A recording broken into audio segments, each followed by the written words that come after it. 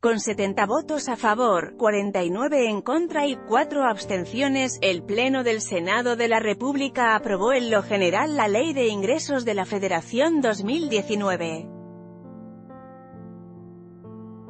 Se discuten las más de 30 reservas en lo particular.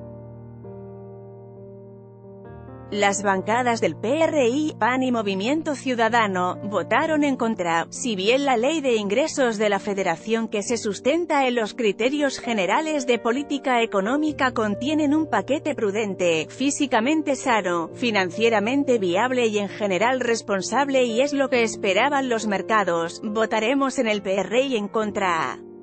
La senadora Vanessa Rubio Márquez, argumentó que no votaron a favor porque se habla de que habrá un paquete de estímulos fiscales especiales tanto de ISR como de IVA en la región fronteriza.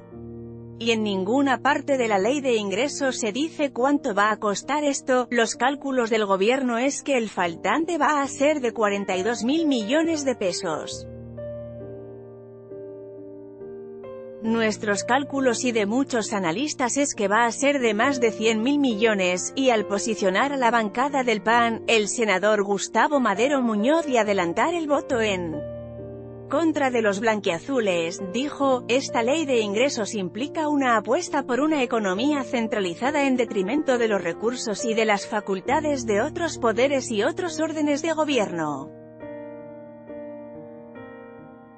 Política se queja la CONAG o de presupuesto Las finanzas estatales se encuentran en gran vulnerabilidad y algunas de ellas ya en riesgo de insolvencia. Estas realidades no están atendidas en este paquete económico. Afirmó, no se advierte en esto un manejo prudencial. Son criterios optimistas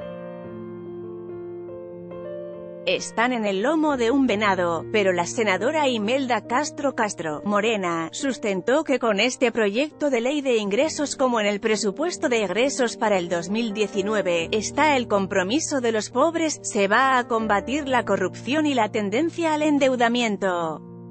En términos reales, los ingresos se mantendrán y se cumplirán los compromisos de la deuda, se impulsará la justicia tributaria al combatir las facturas falsas y con ello recuperar las pérdidas de 500 mil millones de pesos al año.